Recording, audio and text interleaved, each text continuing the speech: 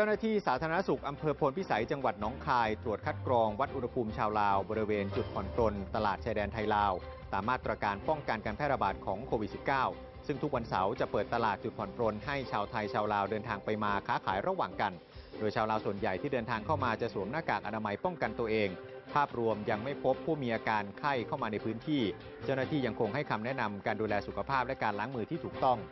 นายรณชัยจิตวิเศษผู้ว่าราชการจังหวัดหนองคายย้ำ ยังไม่มีผู้ป่วยในพื้นที่ ส่วนแรงงานกลับจากประเทศกลุ่มเสี่ยงขณะนี้มี 130 คนกักตัวเฝ้าระวังครบ 14 วันแล้ว 70 คน ที่เหลืออยู่ระหว่างกักตัวในภูมิลำเนาของตัวเอง ทั้งหมดให้ความร่วมมือดี